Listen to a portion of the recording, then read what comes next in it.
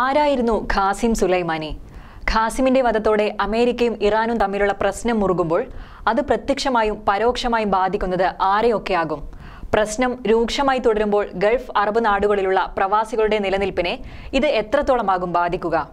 പ്രവാസികളെ സംബന്ധിച്ചിടത്തോളം ഇത് നിലനിൽപ്പിന്റെ പ്രശ്നമാണ്. ഇറാഖിൽ ഉൾപ്പെടെ ആയിരക്കണക്കിന് ഇന്ത്യക്കാർ വിവിധ ഗൾഫ് അറബ് നാടുകളിലായി ജീവിക്കുന്നുണ്ട്. ഇവിടെ ഉണ്ടാക്കുന്ന ചെറിയ പ്രശ്നം പോലും അവരുടെ ജീവിതത്തിനും തൊഴിലിനുമല്ല ഭീഷണി ഉയർത്തുന്നതാണ്.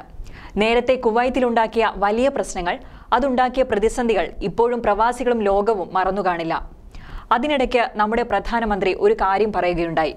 അമേരിക്കയും ഇറാനും ഇങ്ങനെ പോയാൽ അത് സാധാരണക്കാരുടെ ഒരു ജനതയുടെ സമാധാനമാണ് ഇല്ലാതാകുക എന്ന്.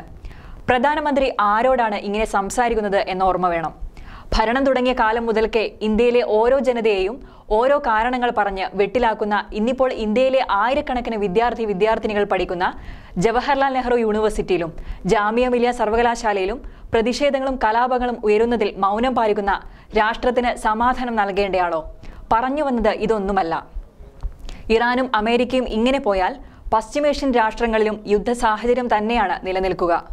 അപ്പോൾ ദുബായ് അടക്കമുള്ള യു എയിലെ നഗരങ്ങളെ പോലും ആക്രമിക്കുമെന്നാണ് ഇറാന്റെ ഭീഷണി. ഇതോടെ യുദ്ധസമാനമായ സാഹചര്യത്തിലൂടെയാണ് ഇപ്പോൾ ഗൾഫ് മേഖല കടന്നുപോകുന്നത്. അമേരിക്കയ്ക്ക് സഹായം ചെയ്തു കൊടുത്താൽ വേണ്ടി വന്നാൽ ദുബായെയും ആക്രമിക്കുമെന്നാണ് ഇറാൻ റവല്യൂഷണറി ഗാർഡ് നൽകിയിരിക്കുന്ന മുന്നറിയിപ്പ്.